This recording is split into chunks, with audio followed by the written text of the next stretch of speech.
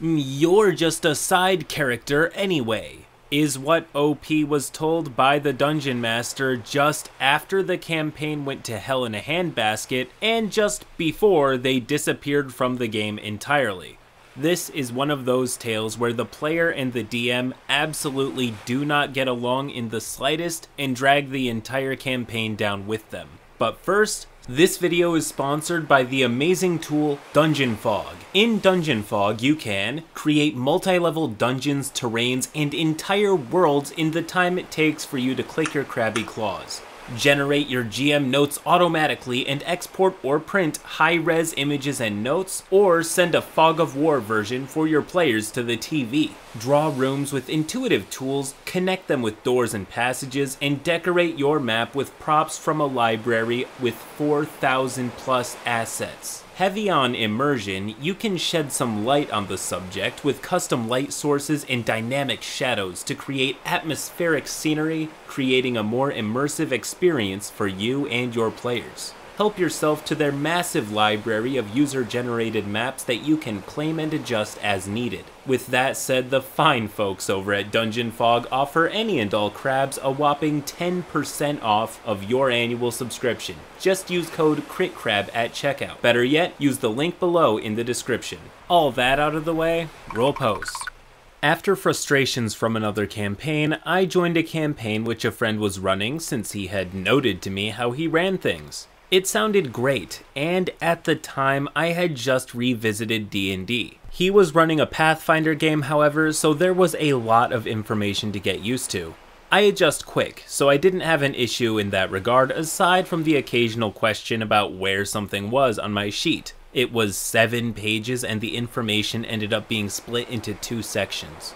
I was being brought in at level 5 with my very expressive gunslinger that cracks jokes so terrible they're funny. Sometimes. He's a beloved character of mine. Anyways, this GM gave me the impression that he had GM'd before and that he was a seasoned and tried GM. Please note that I don't mind new game masters, but I would rather know beforehand so I know what to expect. That being errors. If that wasn't enough to tell, he was actually a fresh GM with this being his first actual game mastered campaign. If not for the nature of the events and how they ended, I probably would not have thought of posting this here as a horror story. And time. Less than a whole minute in and we're already seeing some foolery. Now, most new Dungeon Masters like to emphasize that they're new. You know why? It's so that the players know to be patient and understanding if said DM makes a ruling mistake or shows other signs of inexperience. This DM impresses on people that this is just another rodeo and that he has been there, done that. So given that this is a hoarder story, my money's on the reality being that he is so full of himself that he sees no fault in anything that he's about to do. Roll post.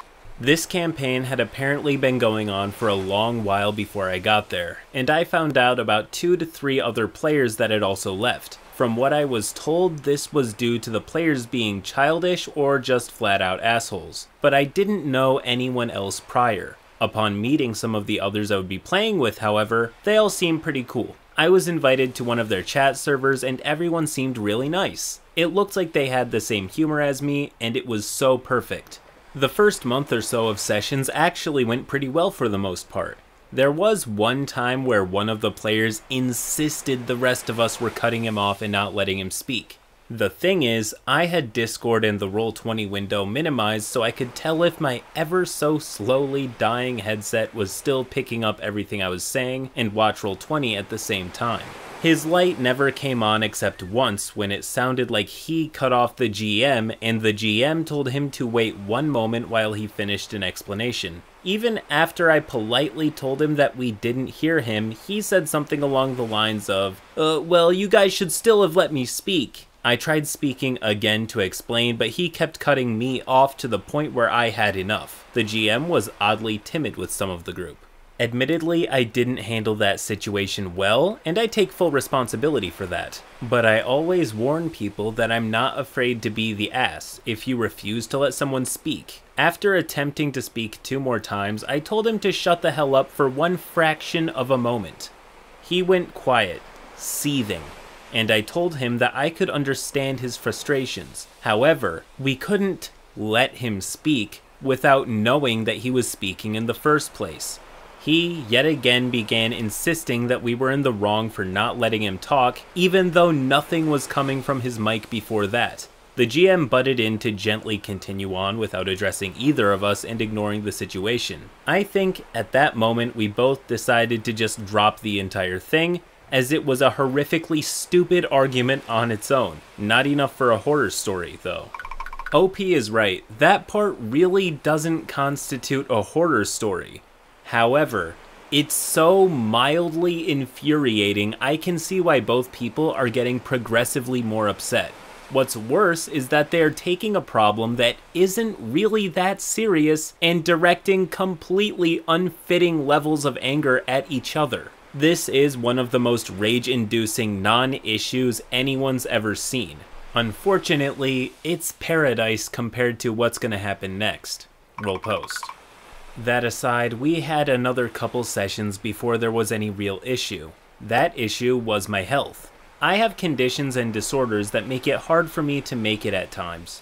We were having two sessions a week up until this point, and it had taken a toll on me in its own way. The GM was already aware of these conditions and disorders, so I didn't need to explain much when I requested that we relax a bit and drop the sessions to one a week. This was mostly so I didn't miss anything important, as both sessions were mandatory for understanding what was going on in the world and with the party. I'll get to that in a moment. The GM stated that we would try it and see how it goes, to which I was very grateful. I did end up missing the next session due to health, and then we had another session that week, which I also missed. That said, we still had two sessions a week. Later on, to a new player, he would claim that we tried that already. No, we didn't. My request was just ignored despite me being told we would try one session a week until I felt better. Anyways, I was willing to ignore that. Whatever.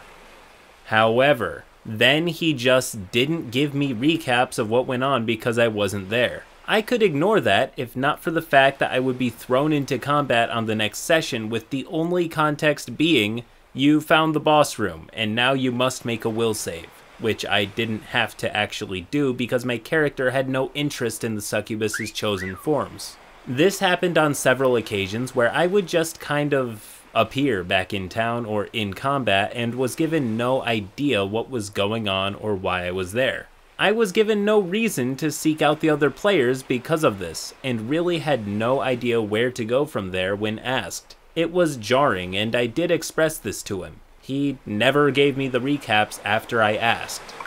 If I had legitimate health problems that physically stopped me from being there, only for the GM to refuse to accommodate for it and then blackball me from the game, I would be so pissed that I would become that guy. I'd be fudging rules, making Mary Sue anime characters, drawing pentagrams all over his notes, hell, eating his GM screen while making full eye contact, the whole nine yards. But he's about to get even worse, roll post.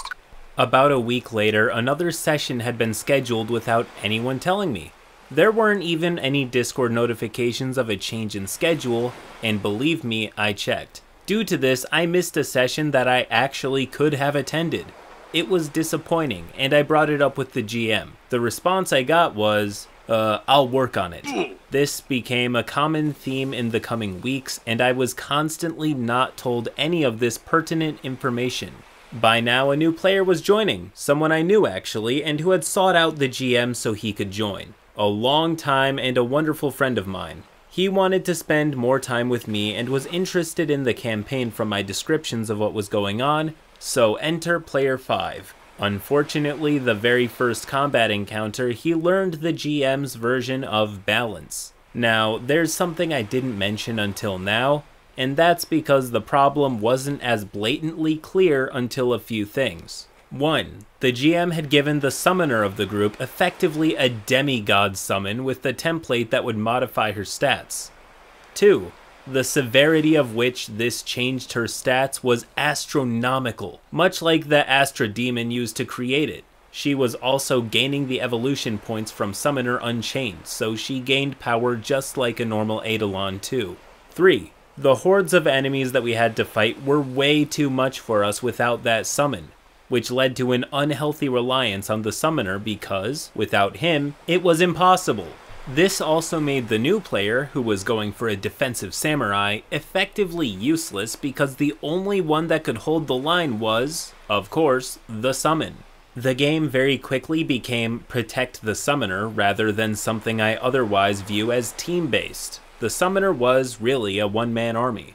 Now, regarding the balance in particular, it wasn't even just the hordes, it was the constant constitution drain they would spam these attacks, which nearly killed the samurai twice in the first two combat encounters. Not to mention, he was one level lower than the rest of us, despite us all supposed to be leveling on a milestone based system together. The AC ignoring attacks and the well out of our league monsters that we were even told by the GM that we were intended to fight. So this wasn't a situation where we were just blind to the hints of no, don't fight that. These monsters could literally one-shot us on average attack rolls, aside from the few of us that had higher vigor points and wounds. And we were supposed to fight them? Yeah, okay. There is so much wrong with these short couple of paragraphs that it's like a fully loaded problem burrito about to burst. First, the GM is giving the players a demigod as a summon, and only the demigod is powerful enough to save the party? Where on earth have I heard that before? It reminds me of the airship or the centaur stories, both of which are just the worst. Moving past that, I have never seen under-leveling a player character work out. I'm sure it's been done before, but making everyone level 5 except Mark, who is level 2, singles him out and makes him less effective than anyone else. And for what? Why not just introduce him as somebody who is as powerful as the rest of the party? It makes no sense to do this. All of these issues are coming to a head, and OP is about to confront the GM about them. Roll post.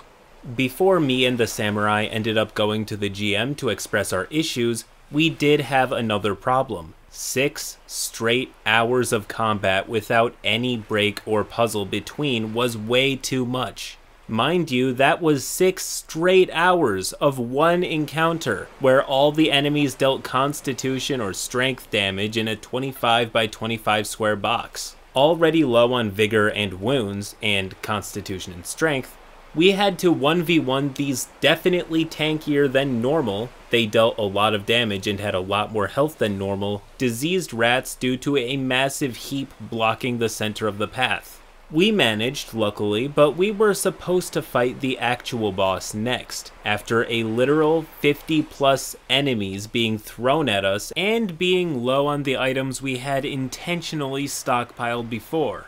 I wish that was a joke, and the majority of those were random demons, and demons which only the summoner could deal with. Again, a game of protect the summoner. So, after the trash heap of rats and worms and diseased hellspawn, we got to a door with five complex locking mechanisms. After about a minute, I remembered I had an amazing disable device skill and the lockpicks to go with it. I roll and get rolls around 28-ish on each all were unlocked within a couple of in-game minutes, and the session stopped there. This is noteworthy, because this is when I voiced my tiredness of the six straight hours of combat. I told him that a combination of that and puzzles would be nice to break up the tedium of roll to hit, roll damage, and go on to the next one. It was so bad that we were all dead silent after the first three hours because there was nothing to even talk about between, just mindless rolling. I also expressed a break could have helped since the one break we got lasted a whole 5 minutes IRL for us trying to help the less dex strong people jump across a gap in the floor which could cause someone to get swept away by a disease laden river. The response I got from this request and suggestion was less than friendly. The player that had gotten into an argument with me prior spoke up in defense of the GM. He took what I said as insulting, and the GM himself stated that it was quote unquote necessary to balance out the roleplay sessions with the combat. Now, I'm gonna call complete bullshit over this because, aside from that campaign, I had also been GMing my own. I have a group that doesn't like too much combat, but also doesn't want too much roleplay. Balancing the two does not mean doing several sessions and hours of only combat to balance out several sessions and hours of roleplay. You can balance them without driving your players absolutely bonkers each time you do too much of either. I explain this to them, and the other players jump on board to attack me aside from the samurai, who remained silent, because he was just as tired as I was. The GM ended the discussion with a rather aggressive, the locked door. There's your puzzle. A locked door is not a puzzle. Not in this case. There are ways to make it one, but this isn't one of them. This has been an interesting development. It seems that the rest of the players enjoy and are okay with everything the GM is doing. At least enough to have been there before OP joined, and then to defend the GM's style when it's called into question. This could imply dishonesty on OP's part, but I think the better story is that the game simply has a very niche appeal and that OP and their friend observe what most would just call bad GMing, but in the context of most players at the table enjoying it that way. So if you look at it through this lens, is the GM really bad for doing this? Or is he good for providing a game that the majority of players at the table enjoy, even though most players everywhere else would strongly dislike it? That said, the story isn't over yet, and OP is about to make some interesting choices. Roll post. I left, not wanting to deal with being ganged up on and being frustrated over the very unnecessary comment towards expressing my thoughts on it all regarding the stupid locked door puzzle. I addressed the Game Master in his DMs on Discord. The samurai did the same, though I wasn't aware of it. The response we got was, I'll work on it. He never did, in case you're wondering. By this time, I had gotten really sick of how I'd been treated. I was still not being told of sessions, and I was missing them because of it, and my health was still dragging me down. Add to this all the fact that the GM had started ignoring and dismissing anything I said, no matter what I said.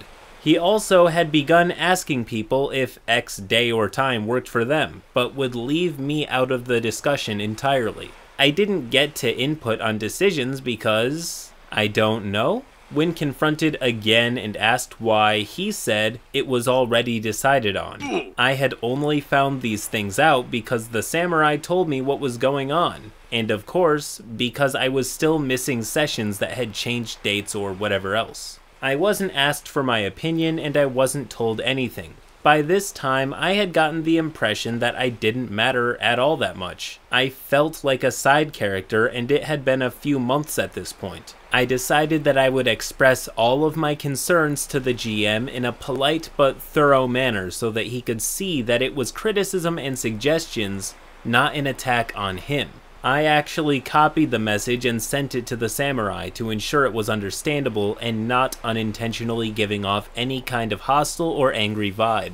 I wasn't angry, just desperately trying to reach out and give feedback so that things could get better. When the samurai told me the message was good to go, after making some edits that came off the wrong way, I sent it to the GM. The response I got was horrifically and overwhelmingly dismissive. He did not address one thing in the message and gave me yet another, I'll work on it. Hmm. Seething, I didn't respond and just left it alone. Only one more incident happened before I left, and that being my offering him some minor criticism. The weird thing is that the first bit of criticism I gave was actually towards a rule and not him. Turns out that rule wasn't even a Pathfinder rule like he claimed it was but he took it in a matter so personal that he got angry at me. He wouldn't talk to me for a while after this, and I'm still confused about it. I even told him straight up I was referring to the rule itself, not you or anything you have done.